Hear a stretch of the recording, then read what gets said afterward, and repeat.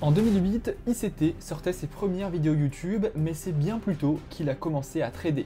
Après avoir fouillé internet, j'ai retrouvé sa trace sur un vieux forum de trading où il se présentait. Ce monsieur s'appelle Michael G. Huddleston et en 2013, il disait déjà trader depuis près de 20 ans. Aujourd'hui, en 2023, ça fait donc près de 30 années qu'il scrute et vit des marchés financiers ce qui fait probablement de lui le mentor le plus expérimenté de YouTube. Et il n'a d'ailleurs plus à le prouver. C'est lui qui est à l'origine de la popularisation du SMC comme vous le connaissez aujourd'hui. Et des milliers de personnes ont validé des comptes propres firmes après l'avoir écouté, dont moi qui en fais partie. Son surnom est donc bien mérité le mentor de votre mentor. Malheureusement pour vous, vous ne parlez sûrement pas assez bien anglais pour comprendre, noter, assimiler et tester ces concepts. Surtout qu'il a une fâcheuse tendance à beaucoup, beaucoup parler dans ses vidéos. Si on ajoute à ça le nombre de personnes qui essaient de voler, renommer s'approprier ces concepts sans les avoir compris initialement, ça fait beaucoup de choses qui rendent l'apprentissage du SMC et de ICT très difficile en France. D'où la création de cette série. Chaque semaine, une nouvelle vidéo entièrement tirée d'une vidéo ICT sera postée, une sorte de traduction française de sa chaîne, et j'y ajouterai évidemment la vidéo originale en description à chaque fois. De cette manière, vous saurez quelle vidéo et concept ICT vous aurez vu, vous serez sûr de la provenance des informations et vous pourrez même aller les vérifier par vous-même. À la fin de cette vidéo, vous aurez une stratégie qui englobe plusieurs concepts d'ICT et vous aurez même la possibilité de télécharger les notes écrites de cette vidéo. Alors restez bien jusqu'à la fin. Pour cette première vidéo, j'ai décidé de ne pas vous expliquer un concept mais bien une stratégie complète. Comme ça, vous pourrez mieux l'assimiler au fil des épisodes et ça vous permettra d'avoir un avant-goût de ce que vous serez capable de faire sur les marchés avec les futures vidéos. On va d'abord voir les différents concepts qu'intègre cette stratégie, on ira ensuite voir l'application sur les marchés, puis je vous montrerai des trades que j'ai pris en réel avec cette même stratégie. Et enfin, vous pourrez télécharger les notes de cette vidéo, donc restez bien jusqu'à la fin. Le premier concept pour cette stratégie, j'en ai déjà parlé rapidement sur ma chaîne YouTube, mais beaucoup d'entre vous ont toujours des difficultés. Je vais donc en parler brièvement ici pour la stratégie, mais une vidéo plus détaillée sera mise en ligne bientôt. Le breaker block. Voilà à quoi ressemble un breaker block baissier. C'est un changement de tendance avec deux prises de liquidité. Vous voyez ici, on va avoir une accumulation, on va venir prendre au-dessus, en dessous, on va revenir ici, je vais vous expliquer le pourquoi du comment juste après, et ensuite on va partir. Alors vous là, vous savez peut-être pas encore quand est-ce qu'on rentre et pourquoi ça fonctionne comme ça. Je vais également vous expliquer pourquoi. C'est donc la prise de deux liquidités, celle du dernier high et celle du dernier low. Le breaker block, c'est le dernier sell avant le buy pour un breaker baissier. Et le dernier buy avant le sell pour un breaker haussier. Attention, ce n'est pas juste la dernière bougie, mais bien tout le mouvement qui compte. C'est là que les institutions vont aller déclencher les buy stop pour pouvoir prendre leur position de vente sur un breaker baissier.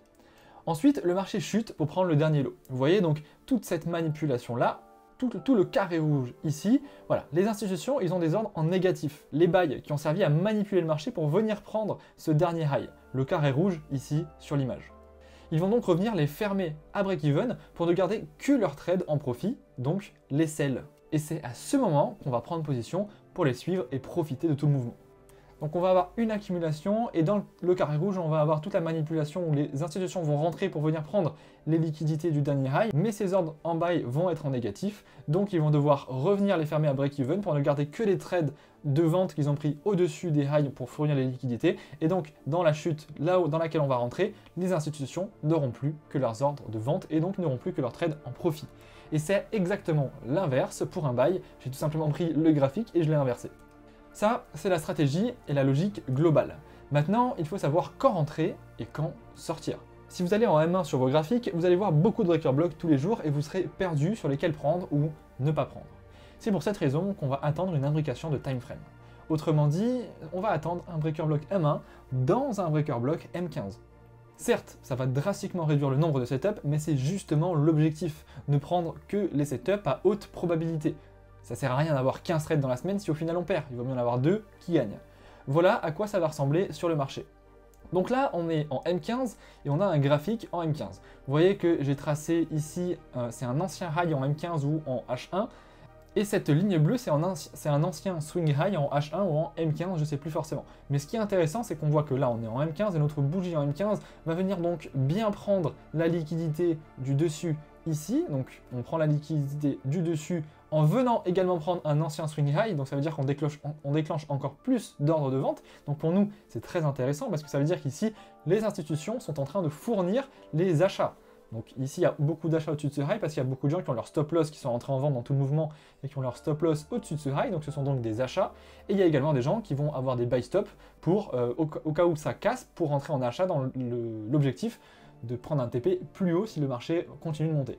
Sauf que les institutions, justement, vont venir déclencher ces buy stop. Si elles déclenchent ces buy stop, ça veut dire qu'elles, elles rentrent en vente, vu qu'elles doivent les fournir, elles fournissent des achats, donc elles rentrent en vente, ce qui veut dire qu'elles ont intérêt à ce que le marché chute. Tout ça ici, elles vont rentrer en vente. Mais ici, toute cette manipulation qui, a servi à aller prendre cette liquidité, évidemment, vous voyez que c'est pas au hasard, hein. c'est juste euh, le bout d'une mèche qui y va, c'est pas, pas au hasard. Et eh bien, tout ce mouvement haussier qui a servi à aller prendre ces liquidités, il a fallu énormément d'ordre aux institutions pour aller les chercher.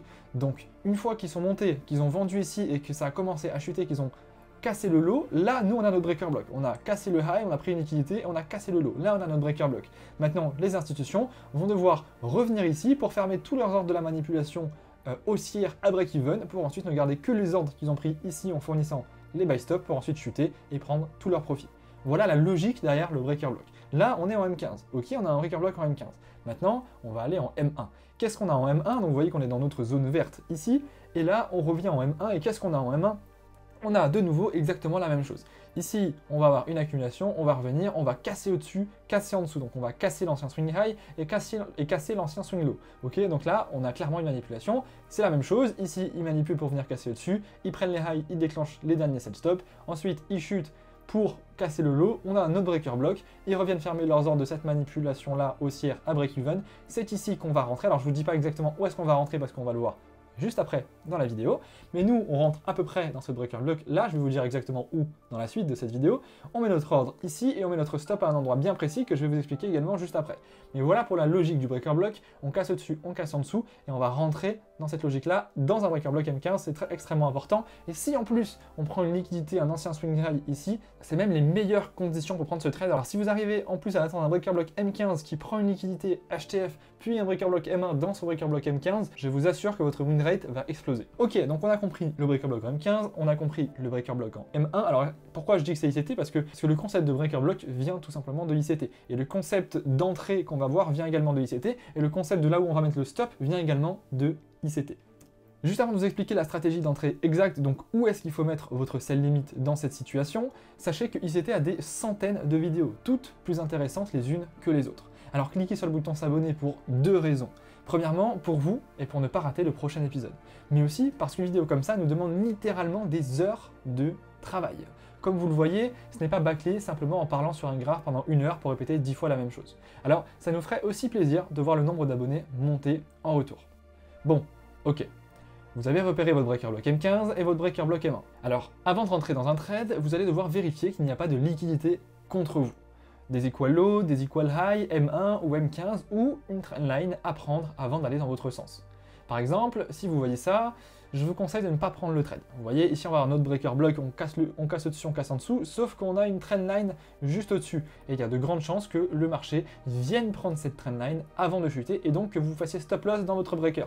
Donc pour moi, c'est un no-go, c'est interdit de prendre mon trade si j'ai une liquidité au-dessus. C'est pour ça que je vous disais dans les screenshots d'avant que c'était encore mieux si vous preniez une liquidité euh, HTF dans votre breaker parce que du coup, ça fait qu'il n'y a plus aucune liquidité au-dessus et donc votre setup est à haute probabilité. Imaginons que là, vous ayez votre breaker au-dessus de la trendline, votre breaker baissier, c'était parfait. Et même chose pour des equal high pour un breaker baissier par exemple. Si vous avez des equal high comme ça et que vous avez votre breaker, vous voyez que c'est très dangereux d'entrer parce qu'il y a de grandes chances que les, les, institutions viennent prendre ces liquidités puis ensuite chutent.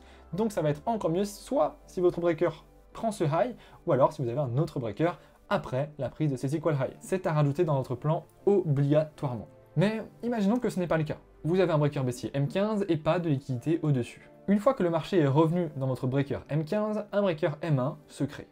Vous avez plusieurs choix pour rentrer. Soit vous utilisez l'OTE, l'Optimal Trade Entry, un concept démocratisé par ICT dont on parlera plus en profondeur. Pour faire simple, ce sont des niveaux précis sur un Fibonacci. On en fera une vidéo précise, mais voilà les niveaux. C'est un Fibonacci et l'OTE c'est ici, entre le 0,62 et le 0,79 avec le euh, meilleur à 0,705.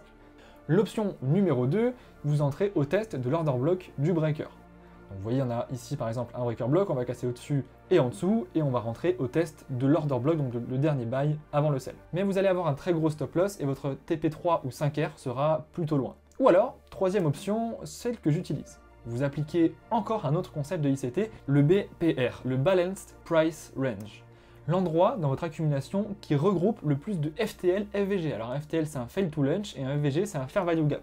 J'en ai parlé dans des dernières vidéos. Un FTL c'est un ancien FVG, j'en ai parlé dans d'autres vidéos, mais on en parlera plus en profondeur dans une vidéo spéciale. Donc dans mon cas, si je prends le BPR, donc l'endroit où il y a le plus de FTL FVG dans mon breaker, dans ma zone de breaker, ça va être ici. J'en ai un, 2, 3. Vous voyez, j'ai un FTL, même ici, j'ai un FTL, FTL, FTL et un fair value gap dans mon breaker block. Donc, je vais mettre mon sell limit juste au test de cette petite zone. Et vous voyez que déjà, ça nous permet de réduire notre entrée. Alors, dans ce cas-là, on n'a pas beaucoup réduite notre entrée, mais on va pouvoir réduire notre stop loss drastiquement. L'indicateur qui affiche les imbalances sur mon graphique ici s'appelle imbalance-BC. Mais vous pouvez encore réduire votre stop loss avec un autre concept de ICT le rejection block. Vous avez deux options pour augmenter votre RR, soit rentrer plus haut, soit mettre un stop loss plus petit. Et donc là, on va mettre notre stop loss au-dessus du rejection block, c'est le dernier high cassé par la manipulation du breaker baissier. Ou le dernier low cassé par la manipulation du breaker haussier, c'est toujours l'inverse. Ici, on a un breaker baissier, donc le rejection est là. Vous voyez, le dernier high qui est cassé par notre manipulation haussière du breaker, c'est ce high-là. Ici, notre breaker, il est où? Alors, on en a un ici, on casse dessus, on casse en dessous, mais on en a également un ici parce qu'on pourrait compter ce swing high comme dernier, low comme dernier low. Donc, on vient casser ce high, on vient casser ce low ici, et on revient dans notre ici dans notre BPR et on mettrait notre stop loss au-dessus de ce rejection et ça va diviser presque par deux notre stop loss. Au lieu de le mettre au-dessus ici, on le met au-dessus du rejection. Et comme son nom l'indique, il est censé rejeter le prix, rejection block, et on est donc censé ne pas le dépasser. Si on le dépasse, c'est généralement que votre setup n'est pas bon et donc bah, c'est normal d'avoir son stop loss ici. C'est au-dessus de ce niveau que je place donc mon stop loss juste au-dessus. Alors là sur le screenshot, euh, il n'est pas bien, mais il faut mettre au-dessus de cette ligne bleue.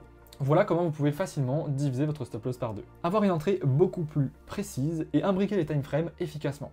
Pour ce qui est du TP, je vous conseille de viser un RR fixe au début puis de voir au fil de votre trade ce qui est le plus efficace pour vous avec votre journal de trading. Maintenant, voilà ce que ça donnerait pour un breaker haussier, c'est exactement la même chose, vous voyez, on a notre accumulation, on casse en dessous, on casse au-dessus, et notre rejection block du coup c'est le lot de la, euh, c'est le lot qui a été cassé par la manipulation, donc c'est celui-là, on met notre stop loss en dessous, et on rentre sur le BPR, donc ici on aurait par exemple des FTL, FVG à cet endroit-là.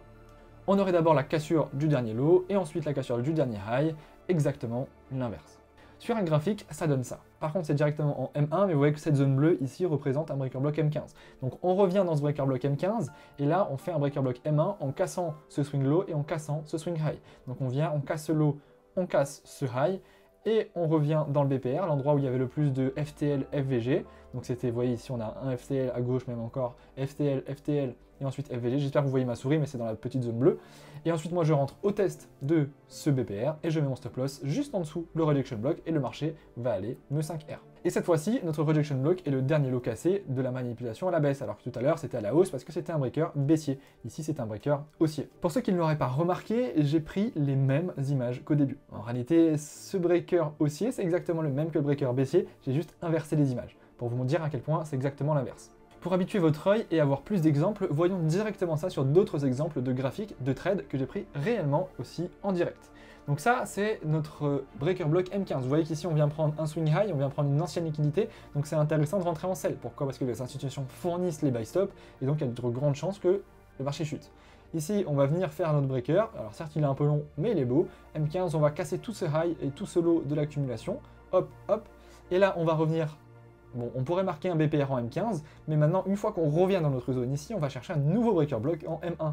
Et c'est ce qui va se passer. Regardez, qu'est-ce qu'on a en M1 On vient casser ce swing high, on vient casser ce swing low, on marque notre petite zone de BPR, donc FTL, FTL, FVG, on rentre au test, on met le stop loss au-dessus du rejection block et le marché chute juste après nous avoir déclenché. Et également ici, le scaling de la même position, vous voyez qu'à gauche c'est le trade qu'on vient de prendre, vous voyez qu'ensuite on va revenir également encore une fois dans la zone du breaker M15, on va refaire un breaker M1, on casse au-dessus, on casse en dessous. Ici, on n'a pas de FTL, c'est-à-dire qu'on n'a pas d'ancien euh, fair value gap dans notre accumulation. Donc on rentre au test du fair value gap qui est ici, on se fait déclencher au poil de cul et le marché va venir nous reprendre une fois, deux fois, puis chuter pour aller nous TP. À savoir que je ne me serais pas fait BE, vous le savez, parce que je me, mets très très très tard à BE, c'est-à-dire à 4, voire 5, voire parfois 6 R quand je vise plus loin, voire parfois jamais à BE. Si vous le savez, vous me suivez sur le Telegram, vous le savez. Donc je ne me serais pas fait BE. Dans ce cas-là, c'est bien un trade que j'ai pris en réel. Et ça, c'est un autre trade que j'ai pris en réel, dont j'ai même une vidéo YouTube. Ici, on a notre breaker block M15, donc on casse au-dessus, on casse en dessous. On a même ici un BPR